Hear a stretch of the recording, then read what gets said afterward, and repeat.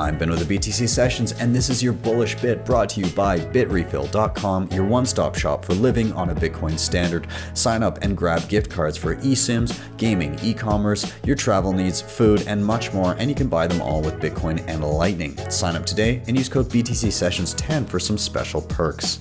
I'm bullish on kind of the marriage of, of Bitcoin and Nostr right now because we're starting to see some of the interesting applications that are coming to light pairing the two. And so there's a couple things that have come up that I've kind of thought were pretty cool. This one here is called Joinstr and it's a decentralized CoinJoin implementation using Nostr. So basically, it sets itself apart from other CoinJoin implementations through several key features. Number one, there's no centralized coordinator.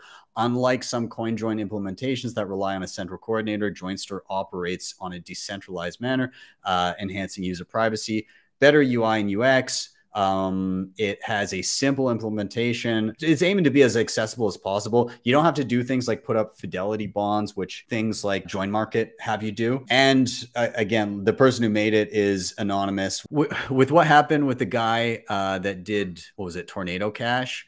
I feel like that's a should be a huge worry for any developers nowadays trying to do any sort of private privacy tools out there. Uh, so you know, not having a, somebody that they can hone in on for that, I think that's also a huge thing. Again, it's in very early stages. Um, right now, they do have an, a plugin for Electrum, um, but I did look at it, and it's yeah, it's still pretty early. It's not uh, super easy to use by any means, but there's a decentralized CoinJoin implementation through Nostr. That's fucking awesome. Um, and I'm excited to see it proliferate and for more stuff like this to pop up. Uh, the other thing that caught my eye um, and that I'm happy about is Marty Bent tweeted this out, but he's like, don't look now, but Mutiny Wallet is highlighting the power of Bitcoin and Nostr by spinning up a self sovereign Venmo competitor over the course of a couple months. So basically, this is Mutiny Wallet, which um, anybody familiar, this is again kind of in the vein of like a automated Lightning Wallet type thing where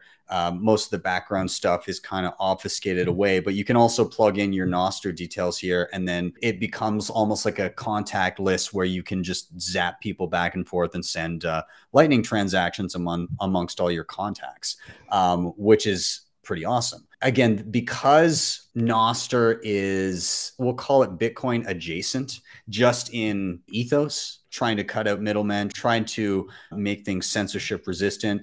And it's very easy to plug in Lightning to it and use Lightning alongside it. Is it perfect? Absolutely not, but it's getting there. So that's kind of why I'm excited. I'm excited to see where this takes us and what other cool shit is going to be built with the marriage of these two things and maybe other technologies.